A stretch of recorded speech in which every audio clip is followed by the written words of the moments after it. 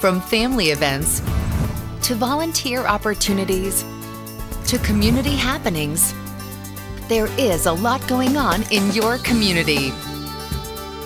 Learn about all the possibilities and opportunities on this episode of Community Hotline.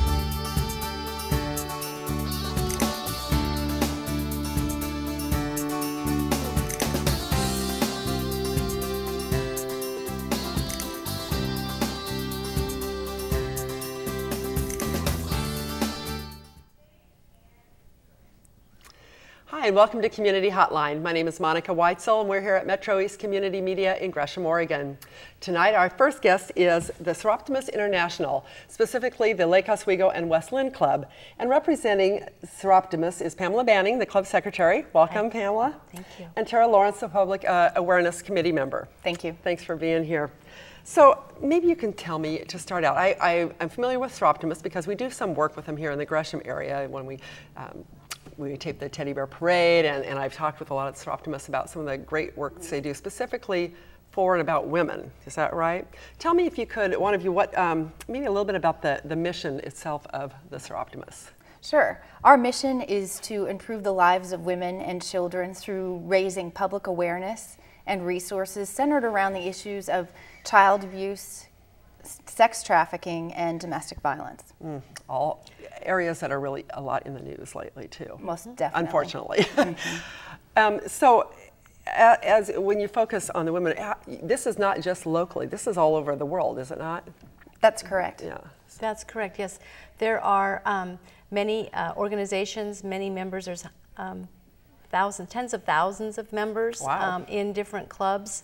Uh, in, across the world, um, and there's maybe about seven or eight clubs just here in the Willamette Valley. Oh wow, that's quite right. a few. Mm-hmm. About how long has have the Soroptimists been an organization? Do you know that? Since the actual 20s, 1920s. Oh wow. Well, I don't remember that. Right. So, so um, what exactly do you do in, in, as far as an organization? I mean, you have certain events and programs. Uh, do you meet on a regular basis? What What do you do? So we um, we do meet on a regular basis, and we have in our strategic plan four particular areas. So we have programs of which Tara can talk about the different things that we'll do with the community to okay. raise public awareness about the issues that are at hand. Um, and then we have a separate set of uh, information for the members. Um, as personal development can also oh. can be something that can take place within the club, as well as wearing, raising their awareness and helping work towards their passions. Oh, that's great. Um, right. And so then we have fundraising. I mean, the, this wouldn't be sustainable if we uh, if we didn't have a way of uh, collecting money, so we would like to talk about some of our fundraising events. And then um, in April, early April, we'll actually have an awards ceremony where we're distributing the fruits of all of our labors oh, from 2012. That, really that's great. like the culmination of all your hard work. Um, I think we have a few pictures of some of the meetings and kind of give us an idea of the sort of the demographic of the of the of your organization. You have all sorts of women from all walks of life. Is that right? What, we really what do. What can you tell me about your, say your club specifically? It's Lake Oswego West Linn. Is it, is it a diverse group of people? Is it, it is pretty diverse. We have both um, actively employed people, currently unemployed people, retired people. Uh, we have women who are uh, bankers, professional bankers. Mm-hmm. We have attorneys. And what are we, what are we looking analysts. at here? Is this a group of some oh, of those sure. women? So we're at Bullseye Coffee down in West Linn. Okay. Uh, and this is one of our induction ceremonies where we were bringing new members into the club. Oh, nice and relaxed and informal. It looks like yes. fun. It looks like fun. So it, it, you know, for all the different types of people and professions, there's something that's happened in our own lives that gives us a passion in wanting to reach out and help other women, and that is that common thread um, that just ties us together. Yeah, that's Right. great. And is this one of your meetings? Yes, this is one of our general meetings. Uh, Pacific West Bank on 10th Street in Lake in West Linn. uh, offers their community room for us uh, free of charge, um, and so we'll, we'll meet the first Wednesday of each month there. This photo is uh, the induction of the chapter. We're only three years old. Oh, so you're a new one. So Yeah. we're pretty new, right? Now, does every chapter have their own focus, or do you all pretty much have the same four areas that you work on, all the different chapters? I'll, I'll answer that. We actually have three focus. We've selected three focus areas, and they are for to focus on child abuse, The trafficking? sex trafficking, Mhm. not human trafficking, but sex trafficking and domestic violence. Okay, okay. So tell me how, how do you go about doing that? I mean, that, those are really broad areas. Um, and what can you do to make a difference? I, obviously, it's, it's a lot of public education, raising awareness. How do you go about doing that? With regard to our public awareness, we've created these panel discussions that have been really quite successful. And what we've done is we would publicize the event and we would mm-hmm. invite the experts within the field mm. of these three areas. So we'd pick a subject matter and then we would invite, say, a panel, usually somewhere around four or five panelists. And they'd be members from, say, the Clackamas County DA's office, Clackamas okay. County Sheriff's Office, people that are right in the right in the right in the things, thick yeah. of it. Mm-hmm. Right, members of DHS, the Department of Human Services, CASA members, court-appointed special mm-hmm, advocates, mm-hmm. and then also we'd have some members that are of some nonprofit organizations that are there. So collectively coming together to share resources, ideas, and information. Now, when you have those, are those open to the public, or are those just for the uh, Soroptimists? Those are open to the public. Okay. We encourage public, okay. the okay. public to come and to attend. So you're sponsoring the, the event, you're putting it on for the public. Absolutely. And we hope to increase, increase our membership by holding these events Good. and increase public awareness. But we'd love to recruit new members, absolutely. Yeah, yeah you said something, Pamela, about uh, everybody has their own passion. And, and I think a lot of that comes from whatever has gone on in your own life or what you've heard about, maybe a neighbor or somebody you know who maybe has been the victim of domestic violence, or they grew up next door to somebody who you know abused their child, or you know whatever. You, there's always you know, everybody has a little story to tell. Mm-hmm. Do, um, wh- what kinds of things have, have motivated you to become part of Soroptimist? You don't have to tell me great personal stories, but what, what motivates you to, to do this? I tend to be a bit of a giver anyway. So I love to volunteer. I love education type events. I love working with children. Mm. And um, I really like the feeling in my heart that comes about at the end of one of the board meetings when we have decided we're going to be distributing over $4,000 in money to people who don't even know it yet. Wow. They're, at the same time that we're working on the fundraising, the awards committee is out uh, soliciting the uh, uh, applications from uh, we have two main awards. The Violet Richardson Award is for high school girls who are active in volunteering in their community. Oh, and right. then also for the Women's Opportunity Award, which is for uh, uh, women who are the single uh, wage earners within their families and they're, they're looking to make a better impact on their on their lives by having a higher education. Oh, so the money goes toward their education. The money goes financial resources towards their education. So how do you find these women? That uh, do they apply for these positions? Are they nominated? How does that work? It's, it's all through applications. Okay. Um, and so we try to uh, bang the drum as loud as we can. That's why we're so mm-hmm. grateful to MetroEast for Good. allowing us to have a few minutes tonight to talk about this because um, when you can uh, reach out to the community, either through sponsorship with the events, or mm-hmm. maybe they have a place where we can show a, v- a DVD mm-hmm. about one of our areas of focus um, or we can have a panel discussion there. It's that interaction, and you never know who's in the room that needs to hear what's right, being said right. tonight. It might be so somebody personally, or they know somebody. Exactly. Right. All we want to do is put the platform out there and be what it what it is, come what may. The um, the people that need to hear it will hear it eventually. Good, so good. So tell me about this uh, this event where you um, actually give the awards. What how does that work? So the New Beginnings uh, award ceremony is going to be on April 10th, so okay. just in a couple of weeks. Yes. It's on a Wednesday evening, and it's going to be held down at the Holy Names Heritage Center, which is a beautiful it building on the Marylhurst campus mm -hmm. down in Lake Oswego. Uh, and during that evening, we have um, many people invited, but the public is also invited to, to come as well. Um, and the, like I said, the Violet Richardson Award winner will be named. Um, that's a that's a that's young the girl, high school, high school girl, girl, right? She's been very active in her community. She has been uh, volunteering on several different levels with Red Cross Youth, with Arts for the Underprivileged. So you're children. talking about the person that's going to get it. That's this actually year. going to get the ah. award this and now, year. do they? Does she know? Yes, she, yes, does. she does. Okay. Yes, she does. So tell me again what, what she what she does. She volunteers with the Red Cross and she, what else? She formed um, a, a, Red Cross Youth chapter with uh, near her high school, um, and she actually had several other events that are escaping me at the moment. But the one that she's most proud of is she was cr- creating an art program for underprivileged youth to allow right. them to express themselves. Wow. Right. Wow. So what what is the intention of the award? What um, besides honoring that person, is there is there a monetary portion There is is it? a monetary portion to it at the club level, and then she will go on. Her application will go on to the regional level, and then on to the district or, and on to the national level. So there's an app. There's um, So like- a greater like a capability for some kind of? rolling type. I, ha- I hate to think of it as a competition, but in the end, there are only several finalists, Right, right, right. So, essentially yes, it is, but it's based on all Right. good work, so nobody's really a loser. The Well women's said. the Women's Opportunity Award um, also has that capability of where there'll be a monitor, monetary gift for that woman, Mm-hmm. and then her application goes on to the regional and the national level as well. Um, and then we also are distributing awards to six different organizations uh, in the area Oh. that it provided for information. So, um, Family Life Skills of Oregon is receiving tuition for two women. Youth Villages of Oregon is receiving money for clothing for children that are, have been admitted to their sexually exploited children's program. wow. Uh, Clackamas County Victims Assistance Department is receiving some money for emergency clothing and um, toiletry kits. Uh, the Children's Center, as well as um, Healthy Start and Healthy Families of Clackamas County.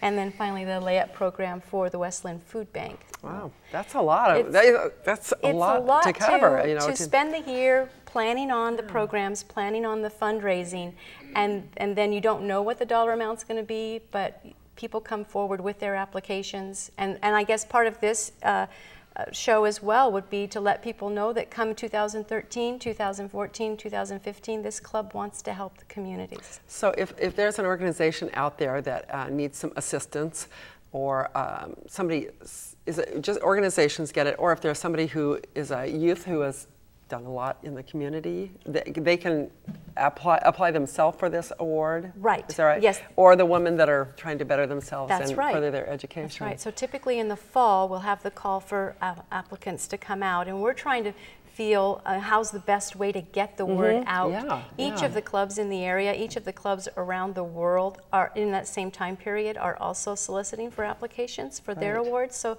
sometimes if there's more applications than money available in one club, there can be some sharing of the applications Oh, so great. that um, we can all continue to pass it networking on. Stuff. It It, is, does amazing things, great. doesn't it? Absolutely. That's great. So um, if, if people are interested in any one of those, um, the website is probably the best place to go, would you, would you say? Probably at this point, so we're so new, that email would probably be the best to go at the moment. Yeah, we are working on the website. Good, but, um, good. Yeah, the email, get in touch with us directly. Uh, anyone who wants to be a member, be a club member, is more than welcome to come and visit the, the general meeting um, or So if somebody talk. were interested, they could just maybe call you up and say, I'd like to come to your next meeting and sit Absolutely. in and check it out and, and, Yes. uh, and go from there. Right. I bet you have a lot of great women there that are, I bet you become friends. Absolutely. Even the ones that aren't originally, am I right? Absolutely. Yeah. You meet great friends, women like minded. Yeah, Without a doubt, sharing their passion, like you said. Right, People right. coming for a variety of reasons, but bringing together their knowledge and experience and their passion and commitment.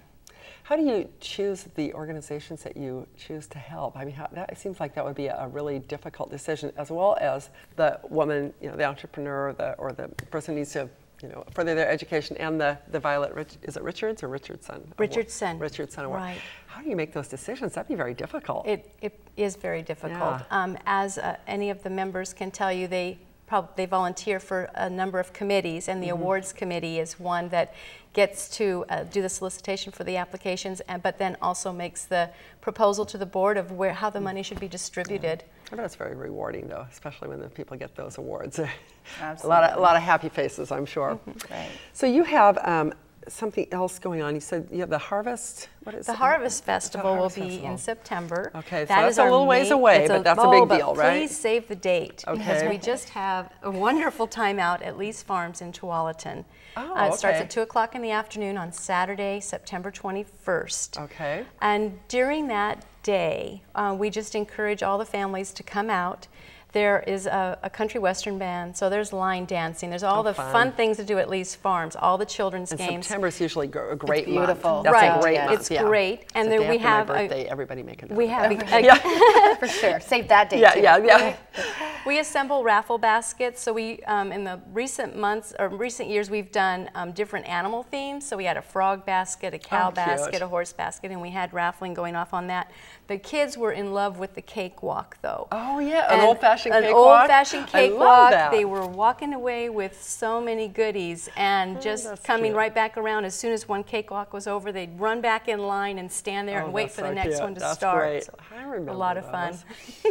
um, I, I think we have some pictures from the Harvest Festival from last year, probably, or, or past year. So Mm-hmm. Right. is- this is one right. of them. So in that main barn there at Lee Farms, we have um, a couple of tables of information, of course, because you never know who is in the audience that might need some assistance of different help. So there's referral sources there, as well as since it is our fundraising time, um, there's raffle tickets for Oh, sale there good. And, Hey, that. get it and however then we you can. adore the sponsors. Um, they have a great time. The sponsors are each awarded tickets, um, and if they can't come, they donate the tickets back. And we reach out to, for instance, this last time we reached out to the military assistance Oh, office and the said, please have your families yeah, come and enjoy the day on us. that's wonderful. So um, we are so motivated and enthusiastic, as you can see can from our see members. Um, it's it's a lot of planning for the day. It's an excellent day for the execution, and then at the evening, you're exhausted, but you can hardly wait for the next meeting to find out how it went. That's great. It looks like you have a lot of fun. So that's the important thing, right? of ladies. Right. So here we have a, a winner of one of the baskets that's a and a winner of the of the cakewalk, and then one of the frog basket. There's on the right. That's so cute. So. That looks like many, many fun. laughs. It's fun. Then here's Oh, the cakewalk. cakewalk. Right. So we have young and young at heart people as well will um, walk the cakewalk um, and just sit on the hay bales. And it takes a little bit, you know, if they haven't seen it before, it takes a little bit of uh, training there on To get them to understand you know, how only that all one works. person per bale, but um, it's a lot of fun, and they soon, very soon, get the hang of it and. Uh, Actually, get, just get dizzy walking around in Yeah, I circles. can imagine. it's fun. Oh, it's so lots of lots of laughter, and then a lot of creativity goes in That's to the the decorations. Soroptimist, that uh, is our logo. Soroptimist lo- logo there, Yeah. right, carved into the pumpkin. That's good. That's good. So. Oh, that looks like a fun event. That looks great. Thank you. Yeah. So have you done this? Is this the second year you've done it, or the? we are now closing three years. So you have done this every year. Yes, we've done it This is your signature event. We, it is our Yes. signature event. We also, shortly on the heels of that, we'll do a, um, a, a wreath sale. Oh, wreath okay. and holiday basket sale. Um, it's to a smaller level at the moment, but um, it, again, it just adds to that general fund that allows us to um, to, to support the, the, awards. the right? organizations and the and Mm-hmm. programs that you want to. What um, what do you need as far as volunteers? or people you need people to come and be part of of Soroptimist? Women that are interested. It's women. It can Is be men as well. It can be? Okay, Yes. Mm-hmm. that's a good thing to know. So anybody that has a passion for um, helping women, empowering women, and, and I love it that you're working with the youth and bringing them up that way because Absolutely. you know, you got to start there. Right. So uh, obviously, you're encouraging people to join or to become part of it. Um, what about organizations that might want to help out the Soroptimist toward toward these goals that you're that you've set for these specific programs? That'd be outstanding. I think that really in this market and the economy, it really takes a lot of creativity among organizations and nonprofits. So collaboration with different organizations with Soroptimist is certainly ideal, and you're really seeing that across across the It's nation. about the only way to do it anymore. It really yeah, is. especially when the recession started. These nonprofits started working together. and Right. it's- done amazing things. Right, to co-sponsor and pay for Mm-hmm. The coffee and donuts together, Right. and then bring a crowd. Yeah, Yeah, Instead of competing against each other, work together, Right. you can accomplish a whole lot more. Yeah, I think That's beautiful. collaboration is key, and Yeah. we've really been leveraging good collaboration. And the Clackamas County and Lake Oswego areas have been wonderful. The the experts and professionals coming out and lending their expertise. Wow. Okay, so domestic violence, uh, child abuse, and sex trafficking are the three areas that you're most focused on. So if there are women or men out there that are interested in, in you know, working on those causes, this would be a good place for them to, to get involved. Very good. Absolutely. Very welcome place for them. Before we're out of time, tell me anything else. What else do I need to know about Soroptimist International? Oh. You have a we had time? talked about that we come from all different walks of life. We all have different professions. Yeah, Uh, I'm an attorney. you're I an used to be a district attorney. Pam is in the Um, I'm in the medical records division. I'm with uh, just a, a data analyst for 3M. Um, we talked about some of the other professions. It's um, So Quite A diverse group. it is a very diverse that's great. group. That's great. But then you get to know each other, and you're all the, Right. we're, all, It's we're all the same in here. So that's great. Absolutely. Good. Well, thank you so much, both of you, for being here tonight. I appreciate Thank you, appreciate it. Monica. Thank you, Monica. This has been our first episode of Community Hotline. I hope you've enjoyed hearing about the Soroptimist International. Specifically, this is the Lake Oswego and West Linn Club. They're doing terrific work in the area. So if these things that we've talked about tonight are part of your passion or you want to get involved, please do contact them. You can go to one of their meetings. You can find out more on their website. And they have events coming up that you don't want to miss. So be sure to check that out. I'm Monica Weitzel. We'll be back in just a few moments, so stay tuned.